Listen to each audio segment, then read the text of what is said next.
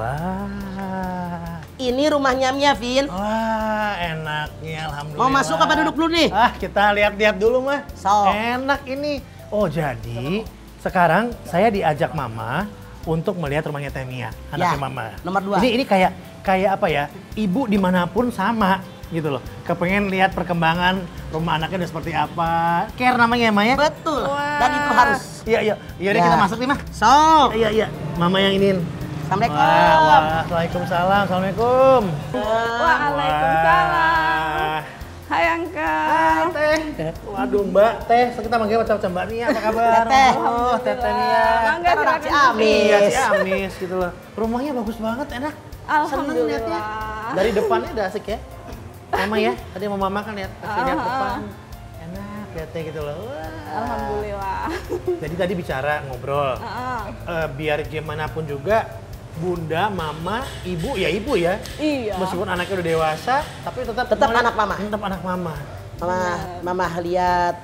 Ini kan Mia belum pindah. Jadi mah ke sini tuh Pin, pengen lihat. Udah bebenah belum dia? Kalau Mia nggak ketenagain, tukang mama disuruh. Ah, Udah kelar. Itu iya. maksudnya. Tuh sayangnya orang mama. Mandornya ada, mandor Ya. ini. Udah kebayang gitu. Maksudnya gini Pin, kalau Mia yang nyuruh, tukang belum tentu kita. Kalau nenek yang nyuruh, siapa yang bisa ngelawan? Tapi emang gitu ya? Iya, nenek. Emang gitu? Emang gitu, Alhamdulillah. Alhamdulillah ya, Rezeki. gimana? Ya Allah. Tapi kalau eh, dari segi pembelajaran ya, misalnya ngajar ngaji ke cucu, anak, ini di sendiri waktu dulu atau memang didelegasin ke orang lain? Kalau dulu waktu kita kecil sendiri, Iya. kalau sekarang Karena memang ngajar kan? Ah, ah, cuman mama arahin aja gitu karena kan mamanya juga udah milik sama-sama bukan mama kita doang. Betul, betul, betul. Iya. Nah, be- berbagi mama dengan sekian banyaknya orang, how you feel? Aduh, gimana ya sampai Mama kadang- bukan milik sendiri loh, bukan milik kalian Iya. aja loh.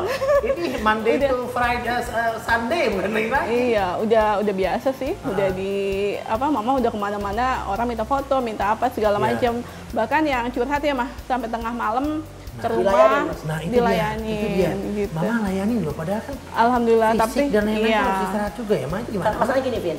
Karena ada orang yang kalau telepon, saya jangankan mama menjawab. Mendengar suara saya, udah tenang. Tuh begitu aneh nih. Hanya denger aja udah enak Ya, ya. dengar suara mama udah tenang katanya. Sian Luar ya. biasa. Oh itu siapa tuh? Oh udah gede si gede lagi si Abiu, abang. Wah, sama Abiu. sama Angka. Hah? Oh datang-datang Oh. ngajak. Dia baru pulang les biola. seberang. Iya.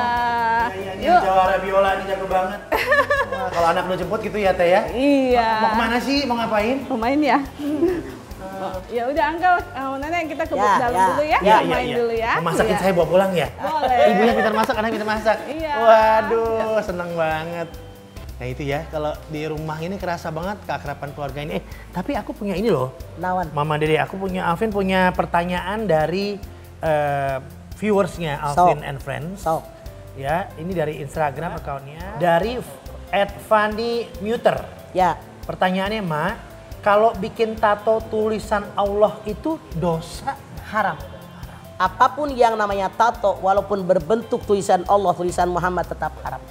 Karena tato itu sesuatu yang dilarang dalam Islam, Iya. karena menyakiti tubuh seseorang. Van jadi gitu ya. Jadi apa pun yang namanya tato itu bentuknya Diharamkan. apa pun diharamkan ya. Tunggu dulu. Dari Bayu AJP, akun Twitternya @bayu_ajp. Ma, aku ngasih duit ke pengemis di stasiun kemarin. Tapi takut dia pura-pura susah dan cacat.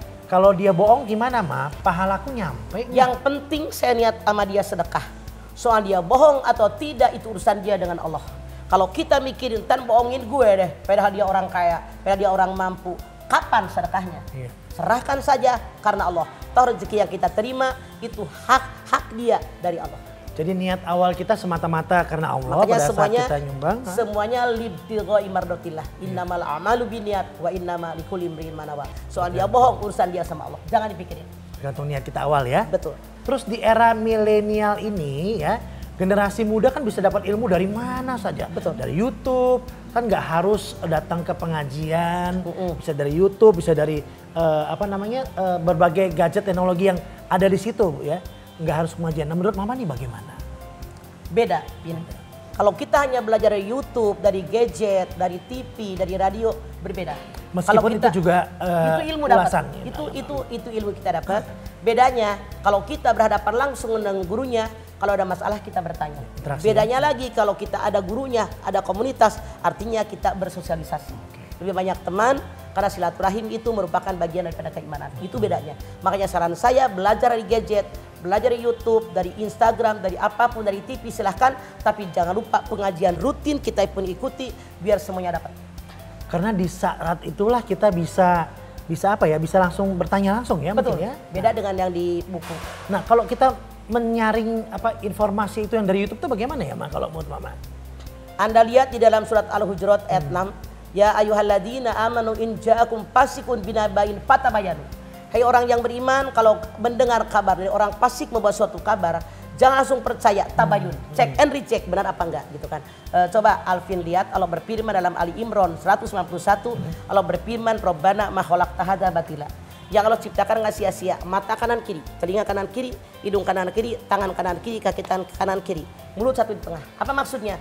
Kalau kedengaran baru satu, ini belum kedengaran jangan komentar pasti salah. Kelihatan ini, ini belum kelihatan jangan komentar. Lihat kanan kiri, dengar kanan kiri, cium kanan kiri, raba kanan kiri, jalani kanan kiri, baru komentar itu yang benar. Mama Dede terima kasih banyak. Mangga, sami-sami. Salam selalu, keluarga. iya baik aku sampaikan insya Allah. Selalu ada pembelajaran setiap kali kita datang mengunjungi sahabat-sahabat Alvin. Dan kali ini di program kita ini pun kita bertemu dengan Mama Dede dan keluarga.